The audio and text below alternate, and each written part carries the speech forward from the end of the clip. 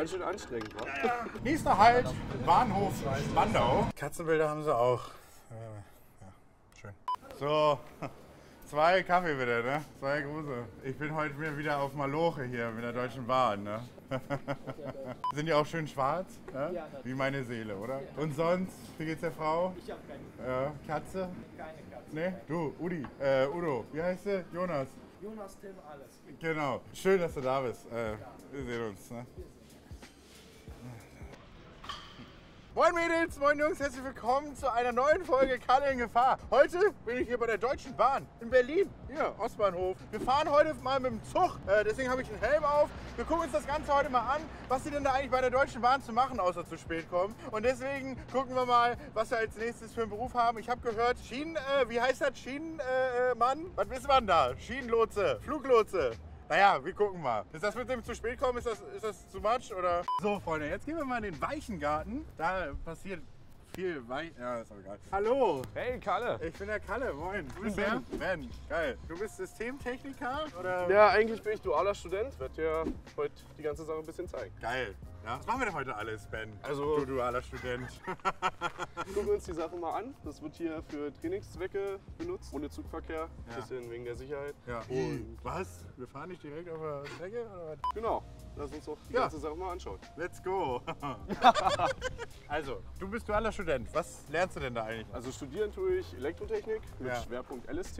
LST ist grob gesagt viel, was Signale angeht und Ja. Was, Signaltechnik. es wird sehr viel von Signalen gesprochen. Ich gebe dir auch ein Signal, wenn Ja. ich jetzt mit dir rede. Aber was für Signale meint ihr da? Wenn der Zug fährt, dann braucht der Lokführer ja irgendwas, wo er sieht, alles klar, muss langsamer fahren, Ja. muss schneller, darf wieder Das schneller sind diese, diese Lichter, die da mal Genau, rumstehen. genau. Also so basically Ampeln oder was? Grob Kann man- kann man so nennen, ja. Ja, ich weiß, ihr wollt das nicht. Aber basically ist auch eine Ampel. Wenn, dann, was ist, wenn da jetzt eine rote Lampe steht, ist dann Stopp oder was ist das? Ja, wenn es rot leuchtet, Muss ein bisschen lauter reden, Ben. wenn es rot leuchtet, dann hat er an dem Signal zu stehen. Super. Was macht so ein ICE, der mit 250 Sachen fährt? Der weiß schon vorher Bescheid, dass das Der weiß schon kommt. durch ein Vorsignal Bescheid, pass auf, gleich ist rot. Ja, ja, ja, ja, ja, ja. Wenn er zum Beispiel nicht bremsen sollte, dann kriegt er eine Notbremsung reingehauen, automatisch. Wirklich? Wird auch durch die Signaltechnik gemacht. Dann kann er ja gar nicht, hat er, kann er ja gar nicht Vollgas geben einfach. Nee, das wäre auch wär wahrscheinlich auch nicht gewünscht. Nicht so sicher, ne? Okay, lass mal kurbeln, Digga. Hallo, ich bin der Kalle. Reinhold. Reinhold ist? Trainer für die Funktionsausbildung Signalmechaniker und Weichenmechaniker hier auf dem Weichenfeld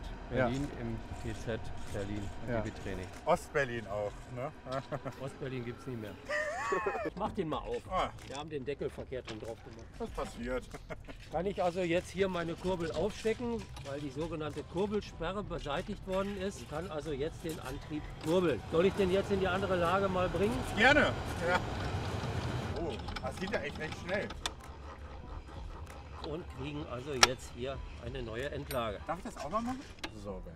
Wir sind drin. So, jetzt, äh, ich werde jetzt hier mal ein bisschen kurbeln, Ben. Warum hast du dich denn jetzt bei der Deutschen Bahn äh, für ein duales Studium entschieden? gibt natürlich viele Vorteile. Einerseits, dass man die Theorie und die Praxis gleich hat und natürlich gleich die Theorie in die Praxis mitnehmen kann. Was man natürlich auch nicht vergessen darf, man hat im Studium Verdienst. Ja, ja. Und was fasziniert dich da so an dem Beruf? Äh, die Technik generell Ja. fasziniert mich eigentlich. Ist ganz schön anstrengend, wa? Ja, naja, wenn man es so schnell machen muss. Das Ding ist halt, oh, so jetzt hat Klick gemacht. Das heißt, äh, dich interessiert die ganze, der ganze Bums, der da auch in den Schienen. Ich habe gehört, es gibt in den Schienen Technik. Also nicht einfach nur Metall, was da rumliegt, aber ist ja auch notwendig heutzutage. Äh, red mal. Entwickelt sich natürlich alles weiter. So, Ben, jetzt haben wir hier ein bisschen gekurbelt. Ne? Wir haben schon gemerkt, es ist super viel technischer Kram auch dabei. Ist auch irgendwie logisch, wenn man jetzt so als, als Kalle, ich steige jetzt so in den Zug ein und denke mir so, ach ja, hier A nach B. Was muss man denn bei den Schienen jetzt insbesondere so ein bisschen wissen, was das Ganze so aussieht? Warum sind hier zum Beispiel so viele Steine? Warum sind die aus Metall? Warum sind die Dinger manchmal aus Stein, äh, also da die Unterdinger hier? Ich weiß gar nicht, wie das alles heißt. Erzähl doch mal, Ben. Also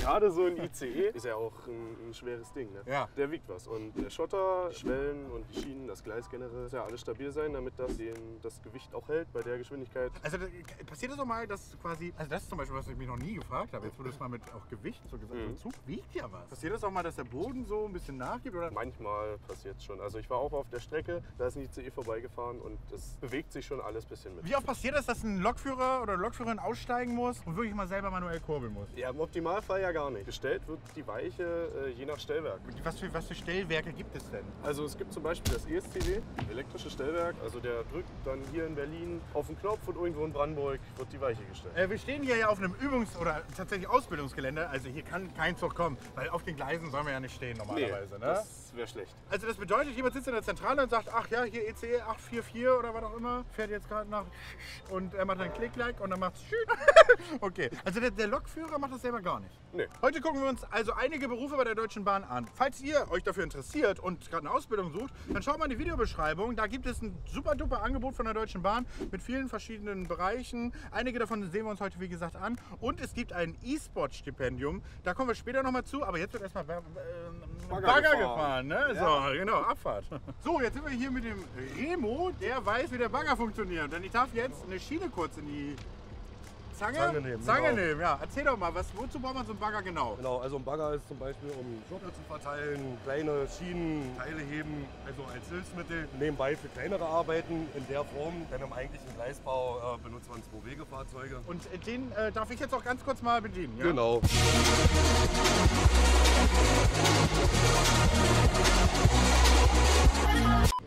Dann nehmen wir den nach unten. Mhm. Mit der rechten Hand bedienst du, wenn du den jetzt nach hinten ziehst, den Arm, der geht dann nach oben. Oh mein Gott. Wenn du nach vorne drückst, geht der ganze Hauptarm wieder runter. Genau. Mal die linke Hand noch, mach ruhig noch mal ein bisschen hoch den Hauptarm. Genau. Und nach links und rechts ist den Oberwagen drehen. Oh, okay. Genau. Nächste Aufgabe wäre jetzt einfach mit dem Kenntnisstand die Schiene da einfach greifen, hochheben. Einfach machen, ja klar, Genau. einfach greifen. So. Warte mal, ich muss glaube ich ein bisschen in die Mitte, oder? Ein bisschen zentraler, was? Hoch. Ja, ja, ja, ja. Es ist super aufregend. Also wir sind kein Zentimeter gefahren, aber es ist schon äh, hier aufregend. So, warte mal, wir werden noch mal ein bisschen weiter rüber. Dann halten hier schön. Oh, weia. Ich hab, ich hab ihn! Ich hab es! Ich hab's! Und jetzt? Wohin damit? Ja, ich mach's jetzt einfach mal ein paar Millimeter hier rüber, dann wieder runter. Ist ja mega geil. So, und dann lassen wir wieder los. Oh, Scheiße! I did it. War okay? Achso, Bedienschwere, ne? Safety first. Jetzt ist hier alles wieder gesichert. Mit dem Auto oder so gar nicht vergleichbar, ne? Das ist natürlich komplette neue Technik. Super aufregend. Man hat aber auch permanent Angst, dass man irgendwas kaputt macht. Aber obwohl hier nur so Kiesel rumliegen und hier auch nichts ist. Aber das ist schon äh, äh, äh, toll. Also Baugerät, ne? Darf ich auch einen Meter mal vorfahren? Alter, nicht, dass du rausfällst, Alter. Und jetzt geht's rückwärts. Oh mein Gott. Ganz schön wackelige Angelegenheit, Hoppala. Ja, weil hier die Kieselsteine sind, du, hör mal. ich fahr jetzt mal ein bisschen näher ran. Ne? Jetzt muss ich die Zange nehmen. Scheiße, wie kriege ich jetzt den Arm nach vorne? Wie war das noch? So. Nein, der ist mir umgefallen. Wir haben ihn. Weiß nicht, ob das sicher ist. Jetzt will ich mich drehen. Jetzt müssen wir aufpassen. Zeig, dass ich was dreht, ole, ole, was dreht, ole, ole, was dreht. Doppel, doppel, Masking, Masking, Ja, wir müssen so langsam zum Ende kommen, leider. Ja, ja, machen wir, machen wir. Shit, egal. Ja, Baggerfahren ist super. Hat Spaß gemacht. Äh, tschüss. So Leute, jetzt sind wir hier am Bahnhof angekommen, am Ostkreuz. Da kommt unser Zug und das ist Linus, unser Triebfahrzeugführer. Triebfahrzeugführer. Schön, dass du da bist. Du nimmst mich jetzt mit in deiner Bahn. Ganz genau so machen wir das. Man muss ja, bevor man so einen Zug übernimmt und Ja. losfährt, auch sicherstellen, ob die Bremsen funktionieren. Das macht immer einmal am Tag ein Kollege. S3 nach Spandau zurückbleiben, bitte. Ach, das ist die Ansage. Genau, und jetzt guckst du hier. Ja, ja, ja. Überprüfen, keine eingeklemmt. Ja, das Signal. Genau, grünes Licht. Jetzt können wir abfahren. Volle Kraft voraus. Ja, der Linus ist auch Ausbilder. Ist erst Mitte 20, also noch ein Jungspund. Gut aussehen, braun gebrannt, 100 Kilo Handelbank. Ich habe vor vier Jahren meinen Führerschein gekriegt, aber davor äh, habe ich Elektriker gelernt. Also das ist so eine Kombinationsausbildung. Man lernt erst die Technik der Züge kennen in der Werkstatt. Dann hast du auch gleich einen Elektrikerabschluss gekriegt. Ist man dann direkt auf den Lokführerlehrgang gegangen und hat dann die Ausbildung zum Triebfahrzeugführer gemacht. Das dauert dann in der Regel etwa ein Jahr. Ein Jahr muss man nur eine Genau. Ausbildung zum Triebfahrzeugführer Es machen. ist nicht einfach, aber pass auf, jetzt müssen wir mal raus. Ach ja. S3 nach Spandau zurückbleiben bitte. Und bei ihm ist okay, ne, mit dem Fahrrad. Ja, das ist okay. Es darf nur keiner eingeklemmt sein. Grünes Licht? Genau. Mit welchem Knopf hast du jetzt die Türen zugemacht? Zeige ich dir gleich. Da ist ein grüner, der obere. Ja. Der äh, kann die Türen aufmachen. Ja. Der rote, der macht die Türen zu. Der ist also rot. Genau. Also der, der orange. genau. Und der schwarze, dann kannst du eine Ansage machen. Es funktioniert völlig anders Eisenbahn fahren als Autofahren. Weißt du, so äh, beim Autofahren fährst du ja immer so schnell, wie du es auch sehen kannst. Ja. Ne? Bei der Eisenbahn ist es so, du fährst so schnell, wie die Signale dir zeigen. Also ich kann jetzt zum Beispiel hinter der Kurve da nicht sehen, ob ein Zug ist. Kann aber trotzdem mit 80 um die Kurve fahren, weil das Signal mir sagt, grün ist Licht, da ist nichts. Das ist Verstehe. so die Grundlage dafür, dass wir überhaupt so schnell fahren dürfen. So, jetzt hier ganz wichtig, wenn ein Gegenzug kommt, immer schön grüßen. So, Da denkst du auch, was für ein Lappen, ey. Gut, pass auf, ich mache jetzt hier auf LA. Wenn du was sagen willst, drückst du den orangenen Knopf Ja. und dann ist das hier unten dein Mikro. Wie so ein Telefonhörer Ja. einfach halten, ne? So, Linus, wovon profitierst du denn in deinem Beruf, beziehungsweise außerhalb deines Berufs? Was bietet dir die Bahn in deinem Leben, dass das einfach auch geil ist? Also wenn du hier anfängst, kriegst du so eine super Special-Nummer, sage ich jetzt mal. Diese Special-Nummer kannst du in die Fahrkartenautomaten eingeben und dann kannst du dir Freifahrscheine holen. Wirklich? Du kannst einfach überall hinfahren, wo du willst. Mit allen Zügen, wo DB draufsteht. Auch mit ICEs oder Intercity und so weiter. Es gibt viele Sozialpartner, wo du ganz äh, viele Angebote bekommst. Muss man mal gucken, was da so alles drin ist. Es ist ein riesengroßes Ja. äh, Spektrum, wo man Von Angeboten. kann. Ja, ist total geil. So, guck mal da. Arkaden Spandau. Jetzt kommen wir in meine Hut hier, Linus. Ja. Hier bin ich zu Hause. Nächster Halt, Bahnhof Spandau. Dieser Zug endet hier. War super, dass ihr dabei wart. Also ich habe mich gefreut. Und wünsche euch allen noch einen schönen Tag. Ganz, ganz klasse, dass ihr mit der Deutschen Bahn gefahren seid. Bleibt stabil, passt auf euch auf, Wetter genießen, euer Kalle Kuschinski. Bis bald. Ne? so, was muss ich, wenn ich jetzt fahren will, beachten? Welche, welche Knöpfe, welche Hebel sind die wichtigsten? Hier kann man die Türen steuern. Ja. Links, rechts oder zumachen. Ja. Ne? Das hier ist dann das Wichtige. Wenn der leuchtet, dann weißt du, alle Türen sind zu. Dann musst du auf den Kameras gucken, ob keiner eingeklemmt Ja, ist. ja. Dann schaust du, ob das Signal grün ist. Ja. Genau. Das hier der Hebel für die Kraft. Geil. Wenn du den nach vorne legst, dann fährt der Zug los. Dann ballert er. Ja. Schön. Linus, vielen Dank auf jeden Fall an dieser Stelle. Gerne. Er hat mega Bock gemacht. Ich selber kann natürlich jetzt hier nicht fahren, weil wir hier im öffentlichen Betrieb sind und ich keinen Führerschein habe. Aber wir gucken jetzt nochmal in der Betriebszentrale vorbei. Und da geht es dann auch nochmal ums Gaming. Das gucken wir uns jetzt mal an. Tschüss. Was ist dir wichtig? Dir ist wichtig, Teil eines starken Teams zu sein und deinen Traum vom E-Sport zu leben? Enabled by Deutsche Bahn. Wir coachen dich und helfen dir, deinen Traum zu leben. In Verbindung mit einer Ausbildung vergibt die Bahn 20 Stipendienplätze an die talentiertesten SpielerInnen. Starte noch heute deine Ausbildung bei der DB Netz AG und gestalte die Mobilität der Zukunft. Freu dich auf Bootcamps, Ingame-Coaching, Sportpsychologie, Ernährungsberatung, Hardware-Support, Fitness-Coachings, Steuer- und Rechtsberatung, duale Karriere und sportmedizinische Untersuchungen. Eine Ausbildung mit individuellem Buff, die zu dir passt.